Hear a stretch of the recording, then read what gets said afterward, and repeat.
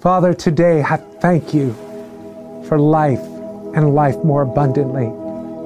I thank you for being the rock of my salvation. I thank you for being my healer, my advocate. I thank you for being the one that goes before me, who leads me and guides me. I thank you for your Holy Spirit that teaches me and comforts me.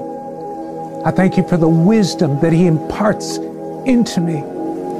And I thank you for Jesus, for Jesus who paid a price that I couldn't pay, who lived a life. I thank you because I couldn't live it.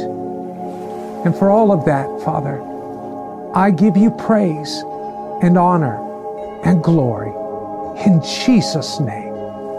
Amen